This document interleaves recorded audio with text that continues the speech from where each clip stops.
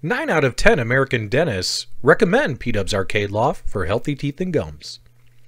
Hey everybody, welcome back to P-Dubs Arcade Loft. I appreciate you hanging out upstairs with us. Now in the past, I've done plenty of videos showing you the awesome marquees made by Angel Otero, as well as how to get those installed on your Arcade 1-Up machines. I've always gone the remote control route, but by popular request, on today's episode, we're going to show you really quickly how you can install a light up marquee on your Generation 1 Arcade 1-Up cabinet and how you can tie it into the existing on-off switch so it powers on and off with your cabinet. And we're going to show you that video right after this.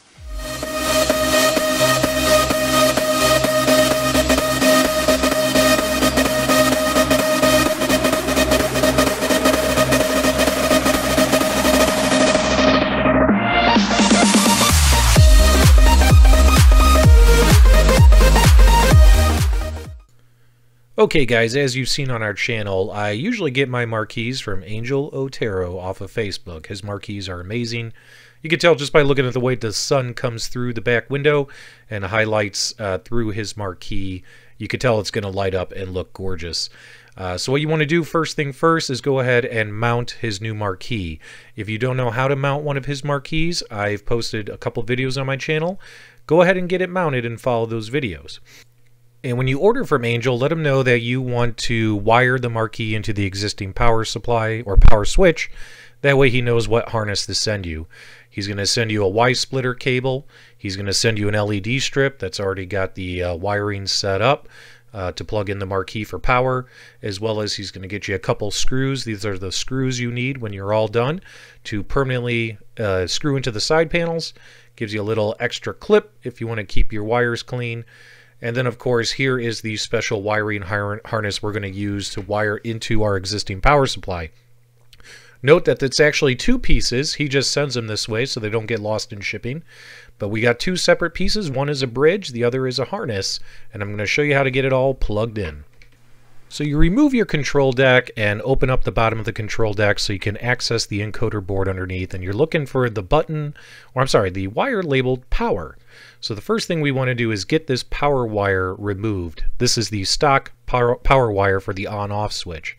So very carefully, there might be glue there. Get that power wire removed. As you can see, it's now dangling. After your power wire is removed, you're going to grab this little bridge that Angel sent you and you're going to plug that in where the original power wire was plugged into the encoder board. This will bridge the power signal and make sure that the system thinks that the machine is turned on at all times. But don't worry, it's going to get really exciting here in a minute. So you're going to have two dangly wires, and I'm going to show you what happens next. Now from here you can go ahead and put your bottom case back on if you want. However, make sure you, before you screw it down, you run the wire through for that existing power supply, the original Arcade 1-Up power supply wire. You want to, let me try and get you a good angle here. You want to run it through, but make sure it's not in the way so you can still plug in your ribbon cable. You see that? And the other bridge wire, you can leave that hidden inside. But this is kind of how you want it to look.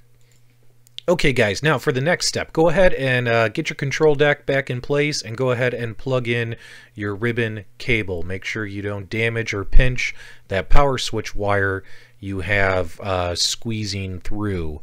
Go ahead and get that ribbon cable plugged in. Zooming in underneath the cabinet, this is what you see. Right next to your ribbon cable, you're going to see that little wire is sitting there ready to go. At this point, go ahead and grab that nice harness that Angel gave you, and we're going to plug this in to that wire. So we're going to very carefully, without damaging anything, get this plugged in. And after you get it plugged in, what's nice is uh, Angel gave you a little uh, wire hanging hook with some double-sided sticky tape on it. So we're going to go ahead and tape that up right here. That way it's not dangling and doesn't look funny. After you peel the back and stick the tape on there, it's going to look a little something like this. Make sure the connection is nice and tight, and we're ready to move on to the next step. We got our harness in, and it's ready to get powered up. This is really going to become plug and play. You're going to love it.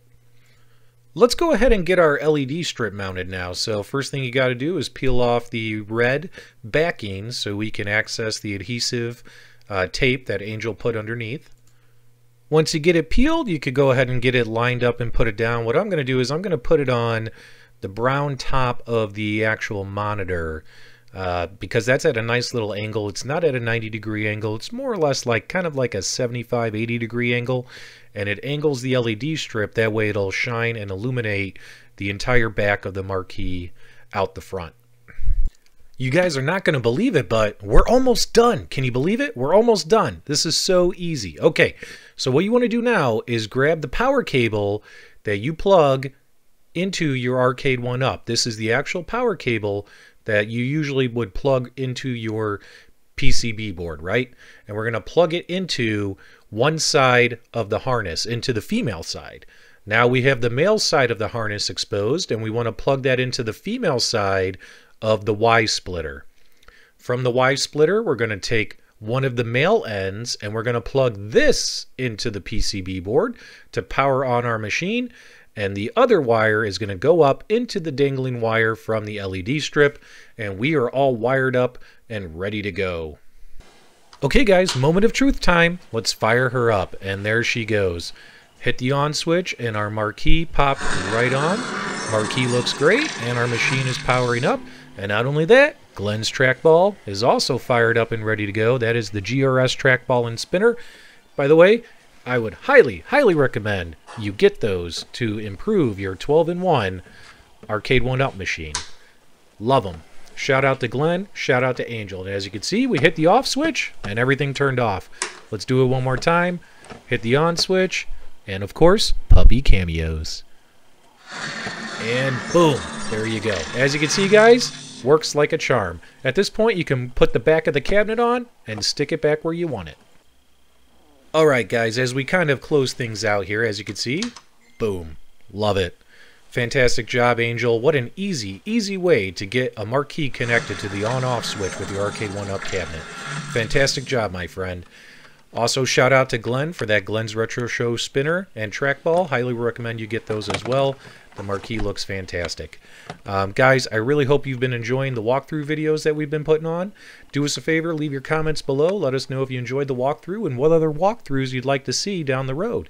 If you're new to the channel, please show us your support. Please hit that subscribe button and give us a thumbs up. Click that bell for notifications. That way you don't miss any other future content. Make sure you check out the playlists on the channel. Anything you want from Arcade 1-Up, AtGames, Toy Shock, etc. is all on there for you, nice and organized. As always, guys, can't thank you enough for hanging out upstairs with us. Thanks for tuning in to P-Dubs Arcade Loft. I hope you guys have a fantastic weekend. Have fun modding your cabinets. Rock and roll, I'm out.